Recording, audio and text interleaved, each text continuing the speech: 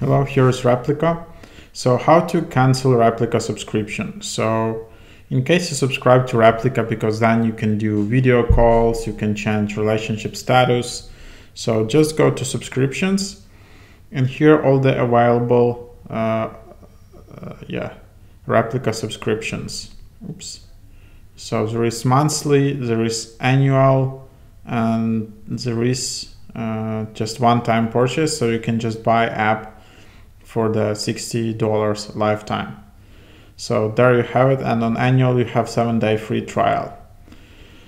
So in case you subscribe, as all the apps on the App Store, you can't cancel the subscription via app. And if you delete the app, it won't cancel your Replika subscription. So what you need to do, either via App Store app or Settings app, you just need to go, uh, yeah, tap on your profile in top right and tap on subscriptions and here you will see your active Replika subscription.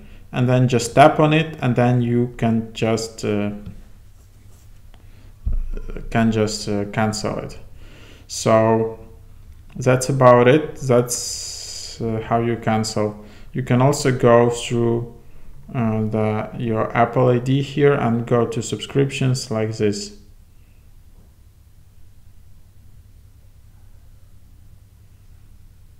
so that's that's how it works as well. So hope that was helpful